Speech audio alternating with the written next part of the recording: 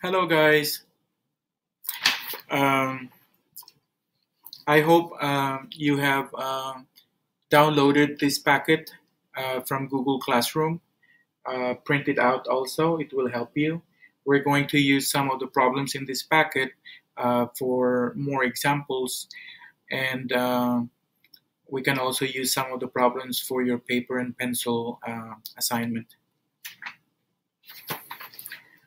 As you can see, our lesson today is about uh, geometric mean, and it's chapter 8, section 1 of your uh, textbook. Geometric mean.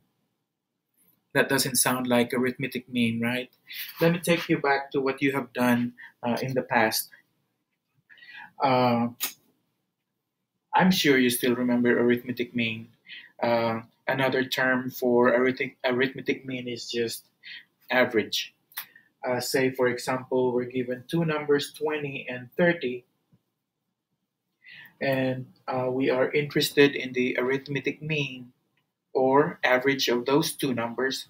All we need to do is just add the two numbers and then divide by since there are two of them we're just going to divide by 2 and 20 plus 30 is equal to 50 50 divided by 2 is 25 uh, therefore, the answer is uh, 25.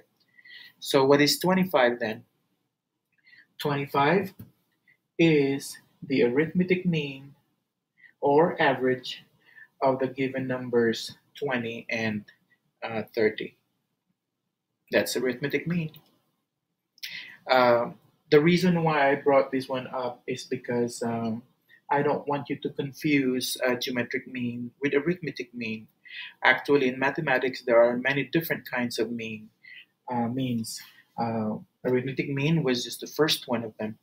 Uh, and then the second one is geometric mean, uh, which is being introduced to you for the very first time. Uh, later on, you're going to have uh, something called harmonic mean. Don't freak out. This is easy. some of my UIL math students have, have seen harmonic mean already.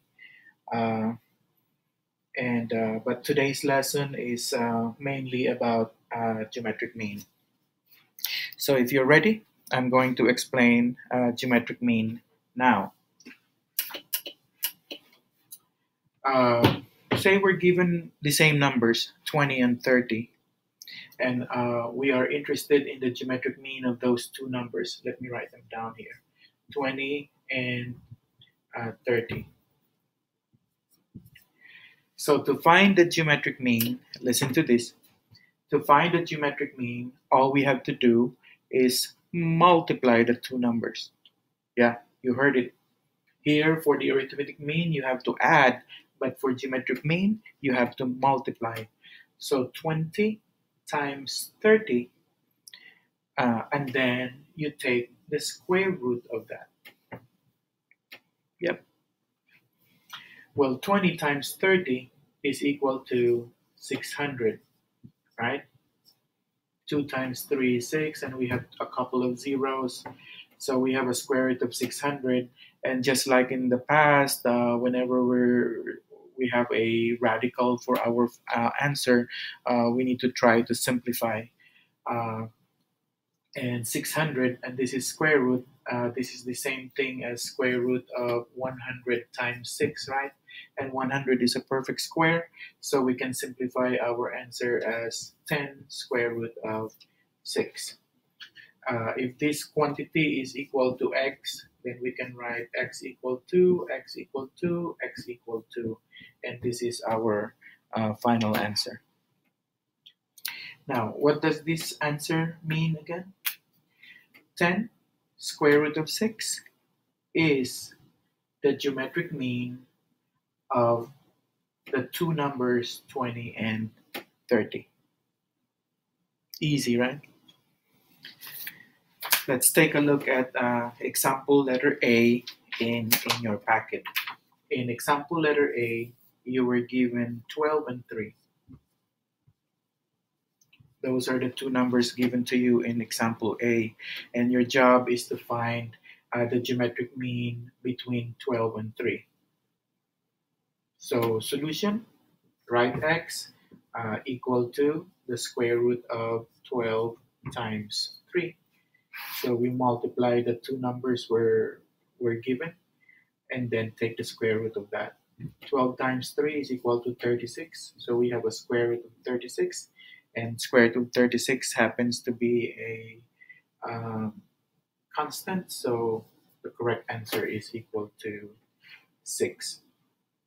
Well, in the past, uh, we've talked about having positive and negative uh, values for a square root, uh, but for the geometric mean, we're only interested in the positive component of the answer.